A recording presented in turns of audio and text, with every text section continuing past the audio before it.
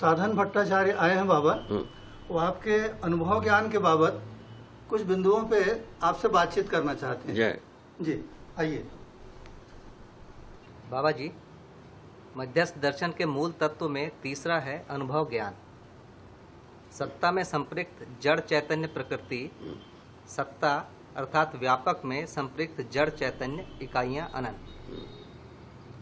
व्यापक पारगामी व पारदर्शी सत्ता में संपृक्त सभी इकाइयाँ रूप गुण स्वभाव व धर्म संपन्न त्व सहित व्यवस्था समग्र व्यवस्था में भागीदारी के रूप में है।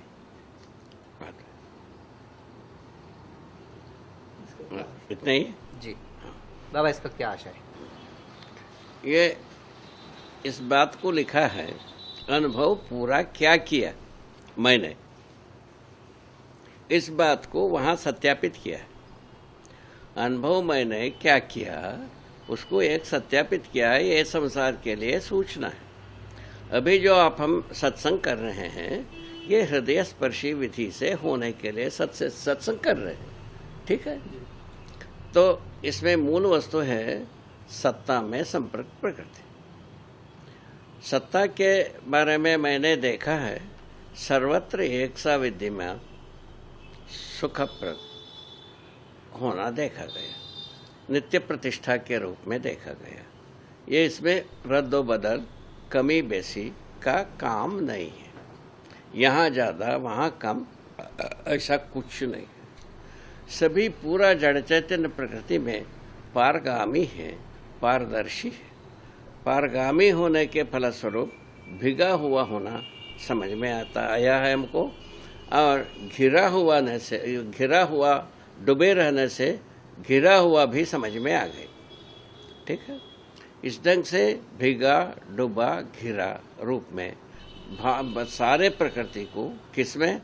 व्यापक वस्तु में देखा। डूबा हुआ है, घिरा हुआ का है, क्या चीज़? व्यापक वस्तु। हर वस्तु के सभी ओर। ठीक है? और भिगा हुआ है, हर एक वस्तु।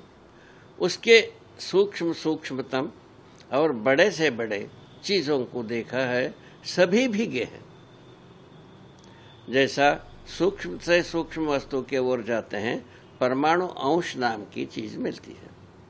ये आँखों से देखने के लिए कितने लोगों को मिला हम नहीं जानते हैं, किंतु मैंने अनुभव किया है कि सूक्ष्म से सूक्ष्म वस्तु के रूप में परमाणु अंश होते हैं। उनका प्रवृत्ति परमाणु में काम करते व्यवस्था के रूप में काम करने की बना रहता है। ये भी मैंने देखा है। ऐसे परमाणु अंश भी भिगा रहता है। डूबा रहता है, घिरा रहता है। वो घिर, ये जो उसमें लिखा है, जो व्यवस्था का प्रकटन परमाणु के बाद ही है। परमाणु परमाणु से रचित रचनाओं के साथ ही व्यवस्था का प्रकटन है। ये बताया इसके पहले के स्वरूप में परमाणु अंश में क्या प्रकट हुआ? परमाणु के परमाणु के रूप में गठित होने की प्रवृत्ति प्रकट हुई। एक सिद्धांत आया है, हर एक प्रकटन के पीछे की स्थिति में उसका बीज निहित रहा।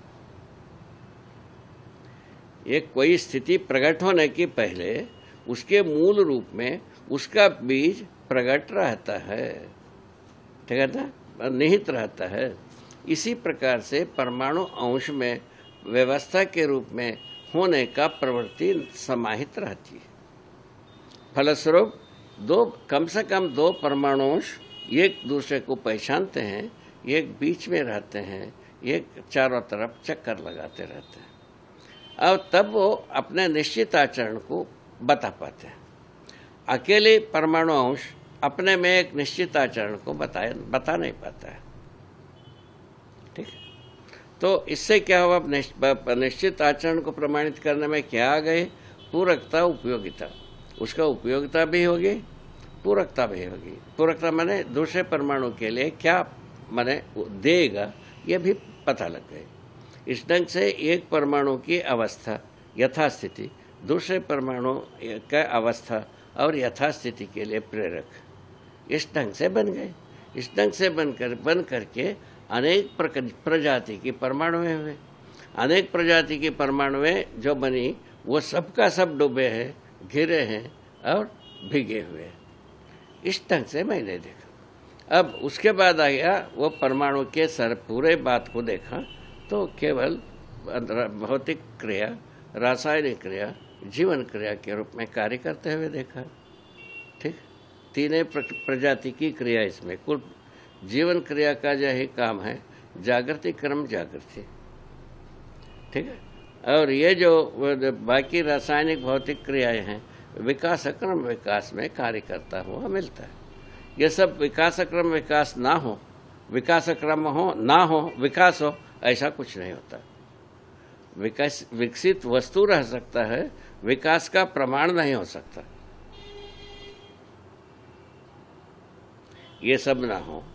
जैसा जीवन हो गया। जीवन के रूप में कोई चीज़, जीवन की वैभव, वो सहअस्तित्व में ही प्रमाणित होगा।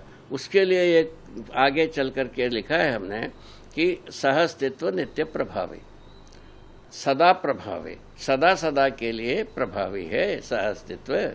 सहअस्तित्व नित्य प्रभावी होने के आधार पर जड़ चैतन्य के योग में ही चैतन्य का वैभव, जड़ का सीमाएँ स्पष्ट हो जाते हैं। ये बात को आगे चल करके स्पष्ट किया। इस ढंग से शुभकामना के पूर्ति के लिए ये बात को देखा, समझा, या शुभकामना के पूर्ति के लिए सब दिखा, समझ में आ गए, उसको हम प्रकट किया है। प्रकट करने पर इसमें हमको लगता है, व्यवस्था में होने के लिए पूरा प्रोजेक्ट बनता है। पूरे के पूरा अभिव्यक्ति, व्यवस्था है, हम शुरू किए हैं। भौतिकवाद व्यवस्था नहीं है, यहाँ से शुरू किया। दोनों का अंतर इतने वस्तुएँ होते हुए उनके उनके दिमाग में व्यवस्था नहीं है, यहाँ से ये शुरू किया। इसी को जोड़ते गए, घटाते गए। हम जो है ना, जितने भी व्यक्तिय है, व्यवस्था है, ये एक दो अंश के परमाणु में भी, दो सौ अंश के परमाणु में भी व्यवस्था है। व्यवस्था होने के आधार पर निरंतर एक दूसरे के लिए व्यवस्था के प्रेरक हैं और पूरक हैं। इस बात को स्पष्ट किया। स्पष्ट करने के पश्चात चैतन्य परमाणु इससे, जड़ प्रकृति किसे भिन्न हो गई, गठन पूर्णता के आधार पर, वो जड़ प्रकृति भी जड़, चैतन्य प्रकृति भी जड़ प्रकृति के साथ ही अपना वैभव को व्यक्त करता कैसे? सहस्तित्व नृत्य प्रभावी। तो व्यापक वस्तु ये संपूर्ण जड़ चैतन्य प्रकृति के साथ ही अपने वैभव को प्रकट किया। ये ना हो, वो प्रकट हो जाए, ऐसा होते ही नहीं। वो ही हमारे बुज़ुर्गों ने लिखा है। व्यापक वस्तु ज्ञान रूप में वो अपने में अव्यक्त है और अनिर्वचनीय है, ये लिखते उस समय में शायद है उतना ही लिखने की ज़रूरत रहा होगा, उतना लिखे हैं, या उनको समझ में नहीं आता है, नहीं आया होगा, ऐसा भी अपन सोच सकते हैं, जैसा जो सोचें। मेरे अनुसार सम्मानजनक भाषा यही है, उस समय में उतना ही लिखना उचित समझा उतना ही लिखा उतना जिया उतना प्रमाणित हुए, हम आगे के लिए आशीर्वाद दे करके गए, ऐसा मैं ही कहता इसमें किसी को तकलीफ़ है? जी, बाबा चौथा बिंदु है सिद्धांत। श्रम गति परिणाम। हम्म। बाबा इसको व्याख्या करिए। देखिए उसमें यह लिखा है आगे जैसा ही ऊर्जा संपन्न होने के कारण भिगे रहने से ऊर्जा संपन्नता ऊर्जा संपन्नता का प्रकटन बल के रूप में बल गति के रूप में। क्या बात हो गई? ऊर्जा संपन्नता स्वयं कैसे? एक बल के रूप में बल गति के रूप में गति परिणाम के रूप में परिणाम श्रम के रूप में। क्या बात है? और परिणाम और श्रम गति के रूप में प्रकट होता गया। अपने आप में। इसमें किसी इंजीनियर का, काम नहीं है ये कोई बुद्धिजीवी का काम नहीं है कोई नेता का काम नहीं है। बाबा तो इस सिद्धांत से सारी इकाइयाँ काम करती हर हर इकाइयाँ स्वयं स्फूर्त काम कर रहे हैं। श्रम गति सिद्धांत। हाँ, स्वयं स्फूर्त श्रम गति परिणाम किस आधार पर? हर वस्तु सत्ता में भिगा डुबा घिरा रहने से। भिगा रहने से ऊर्जा संपन्नता घिरा रहने से क्रियाशीलता। क्या बात? डूबे रहने से क्रियाशीलता घिरे रहने से नियंत्रण। तीन चीज़ आपको अध्ययन बोध होता है। हर वस्तु हर परमाणु अपने में नियंत्रित है। क्या बात? हर परमाणु अपने में नियंत्रित है क्रियाशील है। ठीक है ना? और अपने में जो है ना आ, क्या कहा? न क्रियाशील नियंत्रण और बल संपन्न बल संपन्नता बल संपन्नता ये डूबे रहने से भिगे रहने से बल संपन्नता ये तीन बात अपने आप में सब में संपूर्ण रूप में दिखाई पड़ती है। ये बोध होने से ये संपूर्ण क्रिया स्वयं स्फूर्त है। कोई आदमी क्रिया जैसा हम पतंग को उड़ाते हैं वैसा सबको उड़ा नहीं रहे हैं। ठीक है ना? ये अपने आप में स्वयं स्फूर्त विधि से सभी काम कर रहे हैं। इस पर हम विश्वास रख सकते हैं। इससे क्या फ़ायदा पूछा? मनुष्य भी अपने में स्वयं स्फूर्त विधि से व्यवस्था में जी जाए। क्या बात हो गई? क्या बात हो गई? मनुष्य भी अपने स्वयं स्फूर्त विधि से व्यवस्था में जीवे। यही मंगल कामना पहले ही रखा है। कब होगा शुभ? मानव जब व्यवस्था में जिएगा। उसके पहले शुभ होने, घटित होने वाला नहीं है। और सर्व शुभ के जगह में सर्वानिष्ठ सर्वारिष्टकारी माने सर्व के लिए अनिष्टकारी कार्य में आदमी जात लग गया। इसीलिए क्या हुआ? प्रकारांतर से हम सभी अपराध के कटघरे में आ गए हैं। प्रकारांतर से। इसको अच्छी ढंग से, यदि परीक्षण किया जाए, कोई आदमी धरती में बचेगा नहीं। सभी फंसेगा।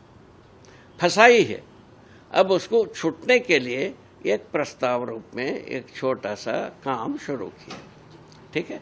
इसमें आप सब जो है ना स्वतंत्र हैं और बहुत अच्छे ढंग से समझने योग्य हैं।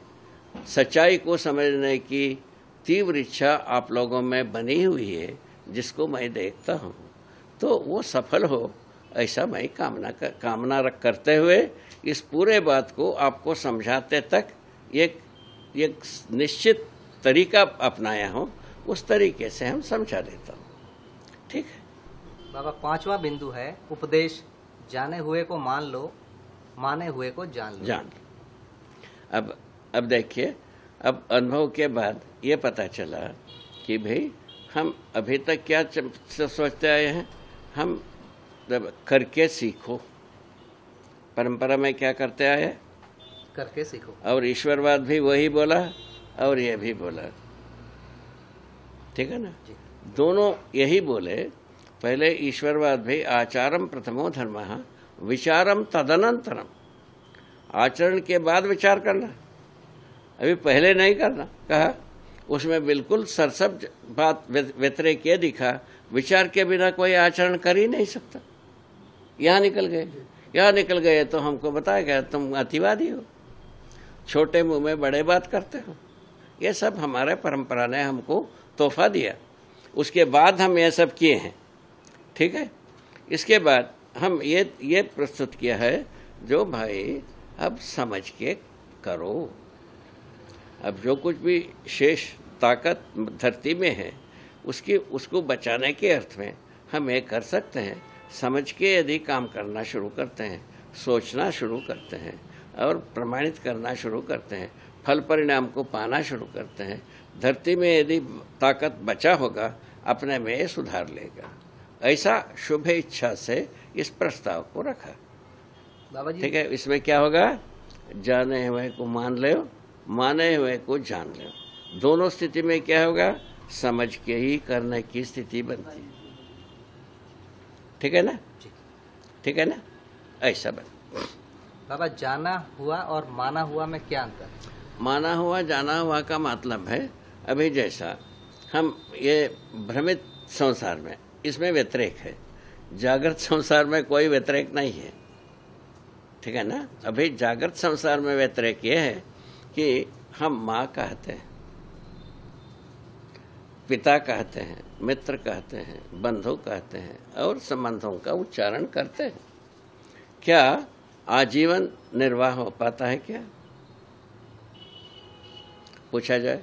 कितने लोगों में ये निर्वाह हो पाता है, उसको सोच लो। ये जीव संसार की काम। जीव संसार में हम लोगों ने देखा है, गाय बच्चे डालते हैं। उसको यदि कोई आदमी छू दिया, उसको मारे बिना वो छोड़ेगा नहीं। ठीक है? दो दिन के बाद वो मार करने वाला बात कम हो जाता है। चार दिन के बाद मारना भूल जाता है। अपने बच्चे के संरक्षण में सब कुछ करने के लिए तैयार रहता है, जब वो बच्चे को दिया रहता है। ठीक तो इस प्रकार से पशु संसार में भी ममता का कहीं ना कहीं लगाव एक थोड़ा दिन सेम देर के लिए दिखता है। वो ममता मानव में शरीर यात्रा पर्यंत रहना है। पर्यंत रहने के लिए क्या हुआ? जाना हुआ को मान भी लिया माना हुआ को जान भी लिया मान जान भी लिया। इसको माना हुआ को जैसा पुत्र को कौन नहीं जानता? पुत्र किस प्रयोजन के लिए है उसको हम पहचाना नहीं है। मानव परंपरा। अभी तक क्या परंपरा सोचा? ईश्वरवादी परंपरा ये सोचा हमारा संतान ख्याति प्राप्त करेगा। क्या ख्याति? वेद मूर्ति बनेगा विद्वान बनेगा और शास्त्रार्थ में लोगों को परास्त करेगा, अपना खड़ा को दूसरों के पूजा घर में रखाएगा। यहाँ तक नमूने प्रस्तुत किए हैं। इस बात को स्पष्ट करता रहा कि जाने हुए को मान ले, माने हुए को जान ले, ये लिखा है। इस मुद्दे को अच्छी तरह से लोकगम्य होने के लिए स्पष्ट करता रहा। मूल मुद्दा अभी तक की हमारा यात्रा रही, और ईश्वरवादी विधि से, भौतिकवादी विधि से करके समझो। हम अभी शुरू किए हैं, समझ के करो। इस बात में जो ये तो बात कुछ तो आपको समझ में आ गया है, इसके पहले कहा, इसके साथ इसको जोड़ सकते हैं कि जितने भी हम प्रयोगों में व्यर्थता को प्रयोग करते हैं प्रयोजन के अर्थ में प्रयोग करना बन जाता है इसे कैसे? तो हम पहले जान लेते हैं भौतिक वस्तु का क्या प्रयोजन है। भौतिक कार्यकलाप का क्या प्रयोजन है? भौतिक परिणाम का क्या प्रयोजन है? उसके बाद रासायनिक वस्तुओं का क्या प्रयोजन? रासायनिक परिणामों का क्या प्रयोजन? रासायनिक स्थिति, गति का क्या प्रयोजन? इन तीनों चीज़ को हम अध्ययन कर लेते हैं। उसके बाद जीवों का क्या प्रयोजन? भुनगी का क्या प्रयोजन? सभी का प्रयोजनों को हम पता लगा लेते हैं। इसका नाम है जानना। उसी प्रकार मानव का प्रयोजन को पहचानते हैं। उसके बाद इन सबका प्रयोजनों को हम जानकर, मानकर प्रयोग करना बनता है। इसके पहले बनने वाला नहीं। मानव अपने प्रयोजनों को पहचानना होगा, जीव संसार का प्रयोजनों को पहचानना होगा, वनस्पति संसार का प्रयोजनों को पहचानना होगा, और खनिज संसार का प्रयोजनों को पहचानना होगा। जानना होगा, अच्छी तरह से। जानने के बाद मानना होगा। जानने का मतलब भी है जो ये जानना, जानने, मानने की बाद ही, पहचानने, निर्वाह करने की बात आती है। ठीक है ना? ये ये इसके साथ जुड़ती है। अभी इसको स्पष्ट करेंगे और थोड़ा सा। भाई, पदार्थ संसार का क्या प्रयोजन? पूछा। एक अभी इसके पहले एक सूत्र आपको सुनाए थे। भाई, हर आगे प्रकटन के लिए बीज पीछे स्थिति में बना रहता है। परमाणु अंश में परमाणु अंश, परमाणु बनने का बीज बना है। परमाणु में अणु बनने की बीज बना हुआ है। अणु में रचना की बीज बनी हुई है। रचना बड़े से बड़े रचना धरती है। धरती में रसायन संसार का बीज बनी हुई है। और धरती में, रसायन संसार में जो जीव संसार का बीज बनी हुई है और जीव संसार में मानव संसार उदय होने का बीज बना रहता ये बात को अपने को अच्छी तरह से एक प्रकार से सोचना पड़ेगा। क्यों इसको ये प्राकृतिक गवाही? क्योंकि भौतिक संसार समृद्ध होने के बाद ही रासायन संसार प्रकट हुई। रासायन संसार प्रकट होने के बाद ही जीव जीव संसार प्रकट हुई। जीव संसार प्रकट होने के बाद ही मानव संसार प्रकट हुआ। है ये गवाही रखा हुआ है। उसके बारे में और कोई बहुत बड़ी लैबोरेटरी बनाने की ज़रूरत नहीं है। प्रकृति में जो गवाहियाँ रहते हैं, वो ज़्यादा ज़्यादा से ज़्यादा उपयोगी सबको समझ में आने वाला होगा। ऐसा मेरा स्वीकृति। हम एक घर में बना लेते हैं, एक छोटे से कमरे में बना लेते हैं वो जो है ना सबके पहुँचने वाला नहीं होगा। ये प्रकृति में जो व्यवस्था है, ये सबको पहुँचने वाला है। सब सभी व्यक्ति प्रकृति से जुड़ा ही। मानव है, बाकी तीनों प्रकृति से जुड़ा ही। ठीक है? और पदार्थ है, बाकी तीनों प्रकृति से जुड़ा ही। रसायन संसार है, बाकी तीनों प्रकृति से जुड़ा है। जीव संसार, बाकी तीन प्रकृति से जुड़ा ही। ये जुड़े बिना ये कोई चीज़ अकेले में कोई चीज़ नहीं है। ये बात समझ में आता है। इसका कारण बताया था कि सह अस्तित्व नित्य प्रभावी है। तो व्यापक वस्तु जैसा वस्तु, निर्मल वस्तु, कोई भी उसकी ज़रूरत नहीं। ज़रूरत का खाका उसमें नहीं है। ज़्यादा कम का खाका उसमें नहीं है। परिणाम का खाका उसमें नहीं है। परिवर्तन का खाका उसमें नहीं है। और ऐसे पावन वस्तु सहअस्तित्व के बिना प्रमाणित नहीं हो पाया। इससे बड़ी चीज़ क्या बता? इससे बड़ी चीज़ बताया नहीं जा सकता। ठीक है? अभी वही चीज़ मनुष्य, जो है ना ज्ञान ज्ञान संपन्न होने के पश्चात ये चारों अवस्था के साथ है प्रमाणित होगा। चारों अवस्था में किसी को हम रात मार देंगे, किसी को लूट मार देंगे किसी को सेंध मार देंगे, हम अपने में प्रमाणित होंगे। ऐसा सोचे, वो क्या होगा सोच लो। ठीक है? ये अभी अभी तक हम चले हैं, इस पर, इसी प्रकार की निष्ठुरता, धृष्टता मैंने क्रूरता को लेके चले। फलस्वरूप कष्ट में घिर गए। गिरना ही था गिर चुके।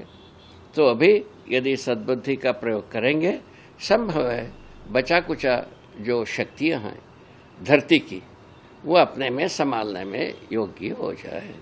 इस आधार पर ये हम प्रस्तावे रखें। ठीक है ना? आगे।